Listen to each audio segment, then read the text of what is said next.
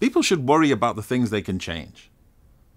There are some things that we cannot change.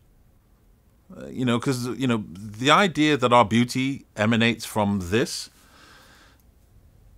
well, if you think that, your relationships will all last about six weeks.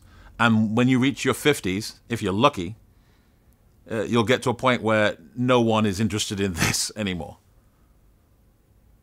Our beauty emanates from somewhere else, if we have it.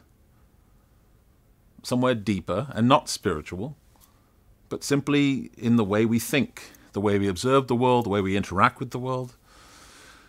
Uh, most people have had the experience of looking at somebody, watching them interact with somebody in a certain way, whether it be a child at a at Christmas celebrations or whatever else.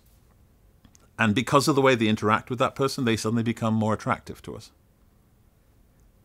It's evidence in a way that this is not all it's cracked up to be, which in my case is a great relief.